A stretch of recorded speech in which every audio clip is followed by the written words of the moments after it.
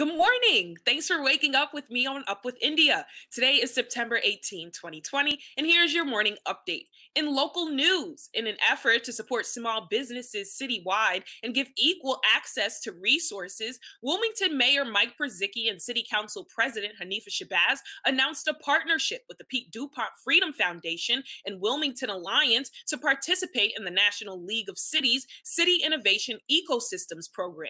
The announcement came just ahead of of the City Council President's weekly address. The program asked city leaders to commit one year to creating the right policies, programs, and practices to ensure their communities can thrive in the global innovation driven economy. For more on that, head to WITN22.org.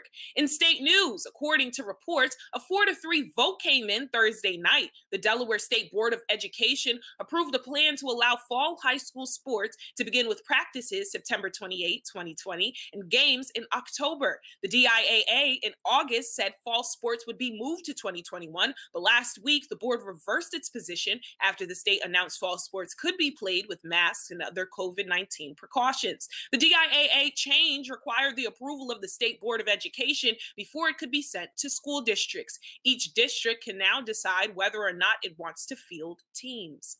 In other news, according today, alleged unwanted hysterectomies and other abuses at ICE facility prompts investigation. Department of Homeland Security announced this week it is looking into a whistleblower complaint by Dawn Wooten, a former nurse at the Irwin County Detention Center in Georgia, who details medical neglect such as refusal to test detainees for COVID-19 and other alarming practice of subjecting female detainees to hysterectomies without their full consent.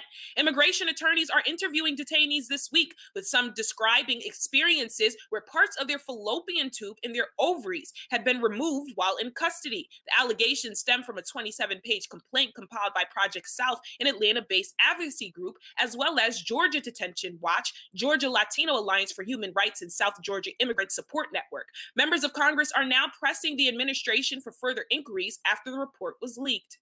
In more news, an announcement came in by House Speaker Nancy Pelosi that the House will vote on a bipartisan bill named after slain Fort Hood soldier Vanessa Guillen on Wednesday that is designed to help victims report sexual assault and sexual harassment in the military. The I Am Vanessa Guillen Act was introduced by Democratic Republican Jackie Speier of California and Republican Representative Markwayne Mullin of Oklahoma, alongside Guillen's family and other Congress members. The bill also moves prosecution decisions on sexual assault and harassment outside of the chain of command to an office of the chief prosecutor within each branch of military service. The bill will be put to vote next week or early November. What are your thoughts on today's news? Make sure to comment below and let me know. Don't forget to like and share on Facebook and Instagram at WITN22Wilm. Thank you for watching Up with India. For more news, updates, and information, follow us on social media at WITN22Wilm.